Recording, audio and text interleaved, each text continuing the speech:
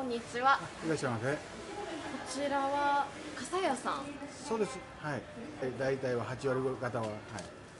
あとはあのーもちろんレインコート、まあ、ステッキとか、あこの時期だと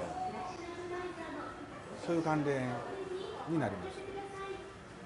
あ、傘店内に何種類ぐらい置いてらっしゃるんですか？ちょっとあまりは数えてないけど、まあ結構あると思いますけど、はい。はい。